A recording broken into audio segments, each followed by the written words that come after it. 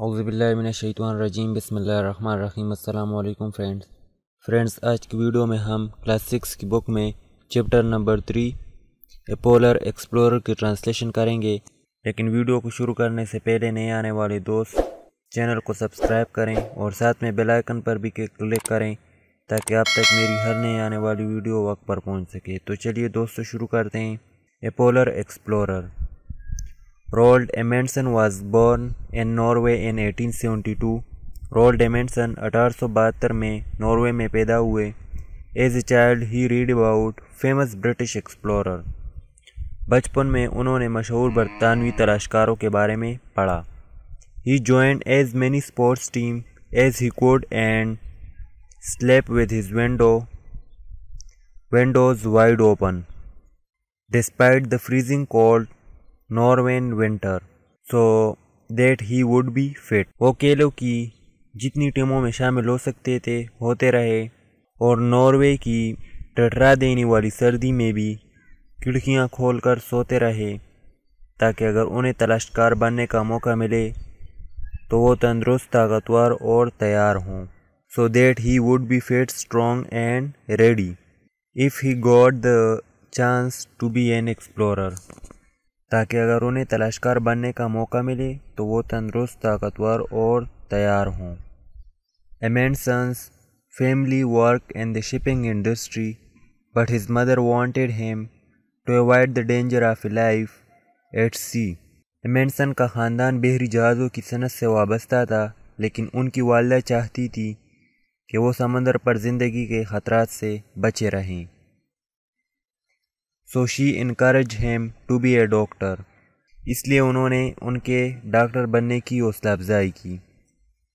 He obeyed his mother's wishes उन्होंने अपने वाल, अपनी वालदा की ख्वाहिशात की तात की while continuing to read about explorer जब तलाशकारों के बारे बारे में पढ़ना जारी रखा, जबकि तलाशकारों के बारे में पढ़ना भी जारी रखा। When he was twenty one years old जब उनकी उम्र इक्कीस साल थी। हिज मदर डाइड तो उनकी वालदा का इंतकाल हो गया। Amundsen left university and began his life as an explorer Amundsen ने यूनिवर्सिटी छोड़ दी और तलाशकार के तौर पर ज़िंदगी का आगाज़ कर दिया। सम एमेंडसन्स अचीवमेंट एमेंडसन के कारनामों में से चंद। He was the first to pass through the north west passage in the Arctic ocean वो बहरे मंजबन शमाली की शमाल मगरबी गुजरगाह से गुजरने वाले पहले इंसान थे।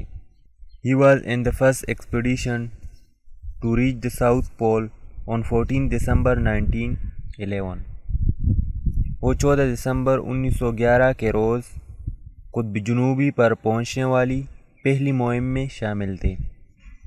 In 1926 He led a successful expedition to the North Pole. 1926 में उन्होंने कुतब शमाली तक पहुँचने वाली एक कामयाब मुहिम की क़यादत की। He is he is recognized as the first person to have reach both pole उन्हें दोनों कुतबेन पर पहुँचने वाला पहला इंसान तस्लीम किया जाता है। In early expedition Amundsen was part of the crew इब्तदाई मुहिमात में एमेंडसन अमले का he watch listen and learn some useful skills उन्होंने देखा, सुना, और चंद मुफीद हुनर सीखे।